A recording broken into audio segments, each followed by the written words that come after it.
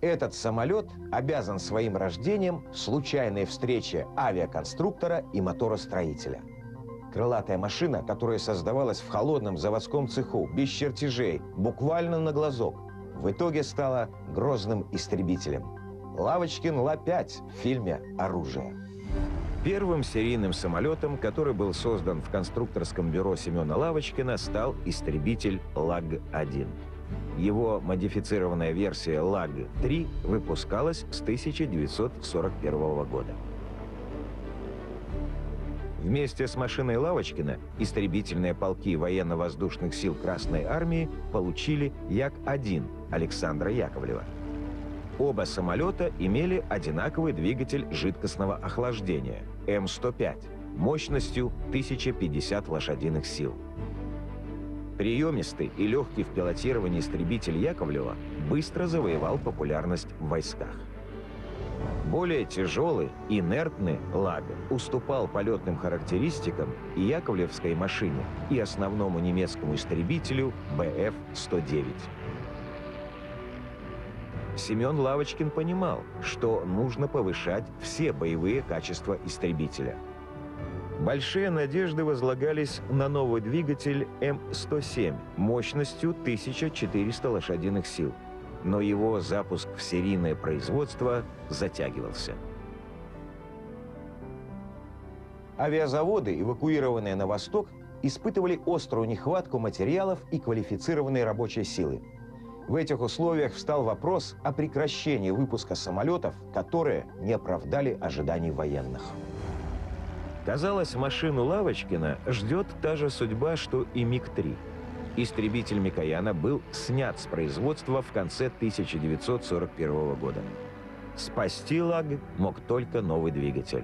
И он нашелся. Конструктор Аркадий Швецов разрабатывал двухрядный звездообразный мотор воздушного охлаждения М-82 для ближнего бомбардировщика Су-2. Производство этой машины свернули, едва успев начать. Выпущенные для нее двигатели, в буквальном смысле слова, было некуда девать. Швецов предлагал М-82 разным авиаконструкторам, но те, не желая рисковать, от двигателя отказывались.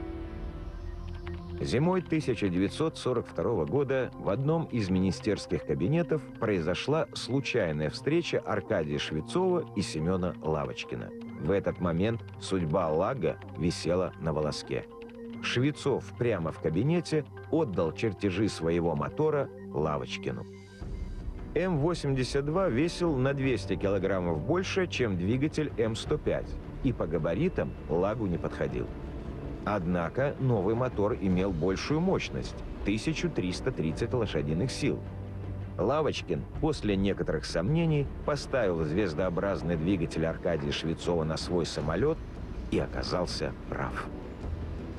Вопрос с габаритами М-82 решился просто. На фюзеляж Лагга поставили дополнительные обшивки. Работы шли прямо в цеху, очень быстро, без предварительных расчетов. Времени на обычное бумажное проектирование не было. Шла война, и самолет требовался на фронте срочно. Новый ЛАГ был готов к испытаниям в марте 1942 года. Первые же полеты подтвердили, что смена мотора пошла истребителю на пользу. Энерговооруженность машины серьезно повысилась. Выросли скорость и скороподъемность. Государственное испытание самолет прошел успешно всего за пять летных дней. В июне 1942 года новый истребитель был принят на вооружение. Первые серийные машины сошли с конвейера Горьковского авиазавода номер 21 уже через месяц в июле 42 -го. Ла-5 – истребитель. Длина – 8,7 метра. Размах крыльев – 9,8 метра. Максимальная взлетная масса – 3360 килограммов. Силовая установка. Двигатель М-82 мощностью 1330 лошадиных сил. Максимальная скорость – 580 километров в час. Практический потолок – 9500 метров. Практическая дальность – 1190 километров. Вооружение. Две пушки «Швак» калибра 20 мм, две авиабомбы весом по 100 килограммов. Семен Лавочкин стремился использовать на Ла-5 максимально большое количество деталей базовой модели ЛАГ-3. Так можно было обеспечить быстрый переход производства на выпуск нового истребителя. Но установка мотора воздушного охлаждения и нового вооружения потребовали изменений. Передняя часть фюзеляжа стала шире. Иными стали система управления самолетом и приборная доска летчика. Ла-5 был тяжелее своего предшественника, но летал лучше. Это, конечно, себя машина показала. Она имела хорошее вооружение. Ну, во-первых, э, совсем другая иная конструкция планера. Уже здесь, например, крыло было не деревянные лонжероны, а металлические фермы, профиль. Дальше, значит, э, эффективность рулей великолепная. Звездообразный двигатель воздушного охлаждения. Для того времени, значит, ну, первая серия был простой АШ-8 Аркадия Швецова, АШ-82.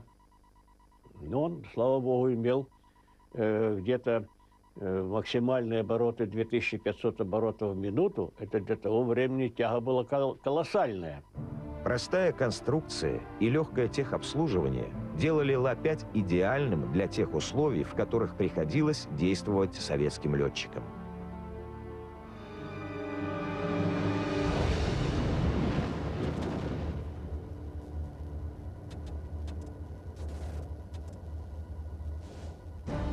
Первые истребительные полки, вооруженные новыми самолетами Лавочкина, попали на фронт осенью 1942 года.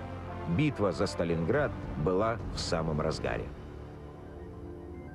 Издалека Ла-5 напоминал своими очертаниями И-16, известный немцам еще со времен войны в Испании под прозвищем «Крыса». Поэтому пилоты Люфтваффе предположили, что имеют дело с модернизированным поликарповским истребителем и назвали Ла-5 «Новая крыса». Ла-5 пришлось встретиться в воздухе с Фридрихом, самой массовой на тот момент модификацией немецкого истребителя БФ-109. На вертикалях уже значит, наш самолет не уступал.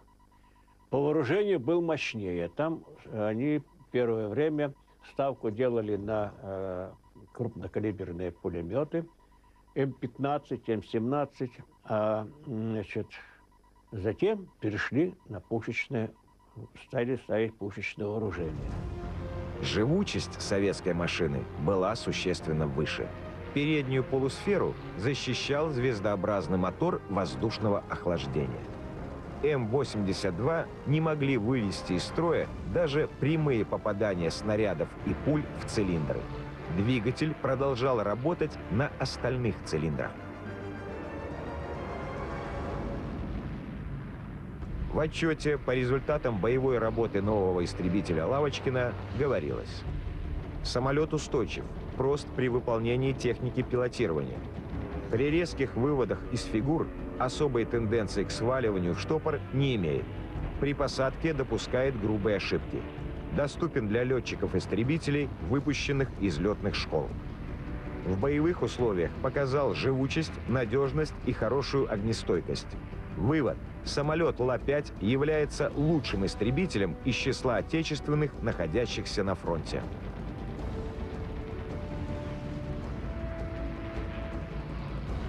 Однако не все недостатки Ла-5 удалось устранить при внедрении машины в серию. Ненадежно работало вооружение. Пушки иногда заклинивало. Об условиях работы летчика в кабине мало подумали, прямо скажем. Там был все время повышенный температурный режим от двигателя.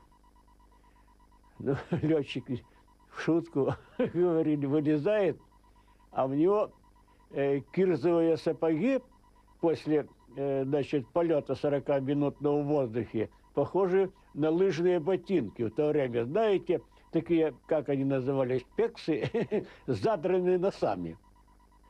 Очень жарко было, очень жарко было.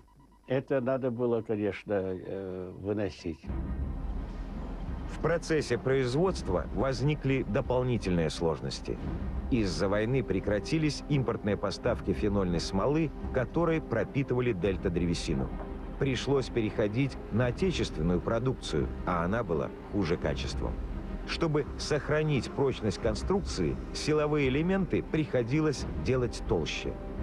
Это вело к утяжелению серийного самолета и потере его скоростных характеристик. Осенью 1942 года на Восточный фронт в большом количестве стали прибывать новые немецкие самолеты. В истребительных эскадрах Люфтваффе место Фридриха БФ-109Ф занял Густав БФ-109Г. Он имел более мощный двигатель и пулеметно-пушечное вооружение.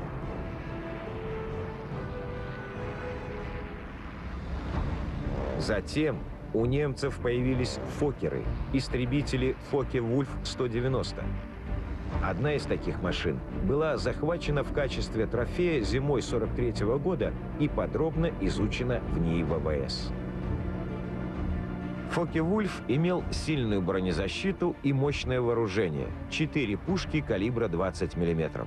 Это была грозная боевая машина и серьезный соперник для советских истребителей – Новые немецкие самолеты превосходили по боевым качествам машину Лавочкина. Требовался немедленный ответ на вызов Люфтваффе.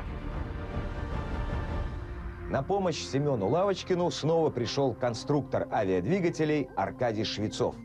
Он предложил установить на Ла-5 более мощный двигатель. Так появилась новая версия истребителя. Рассказ об этом в следующем фильме «Оружие».